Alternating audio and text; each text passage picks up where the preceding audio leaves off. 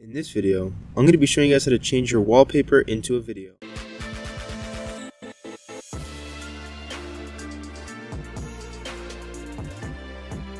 Hey, what's up boys? Welcome back to another video. It's your boy Technotrend back at it again.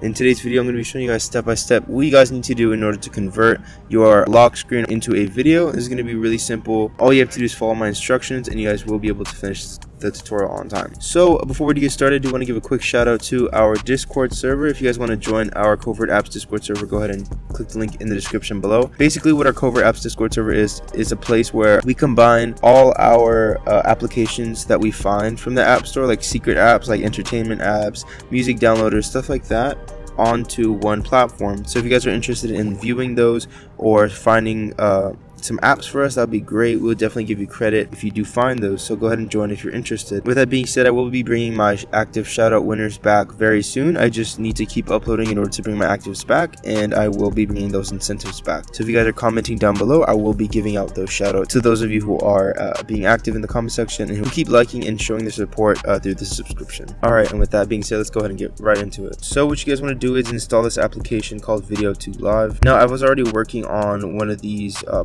beforehand, but basically you're gonna have to allow camera roll access. Okay, so now we are in my camera roll. So I'm gonna go ahead and choose a video that I'd like to make a live photo because we're gonna be doing that in a second. So basically here's the video that I want to convert and make my lock screen. So all you have to do is go ahead and um, choose the part you want. So I'm just gonna choose this part. And you can make the entire thing your lock screen, which is kind of cool. Um, I also like to take out the audio um, and then I'm done. And I'm basically gonna click convert. So once I click convert and ads gonna appear, just wait for it to go away.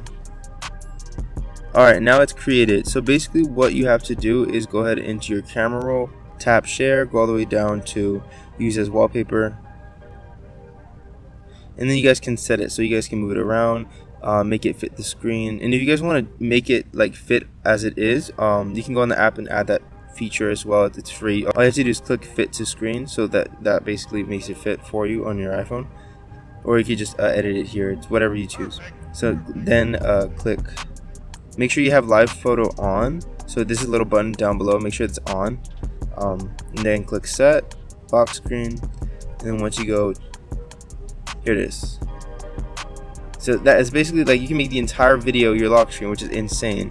Um, my lock uh, the video that I chose was pretty short but you guys can make the video like as literally as long as you want. So if you're interested in making like a concert um, your live video then you guys can go ahead and do that that's basically it for today's tutorial. I hope you guys did enjoy.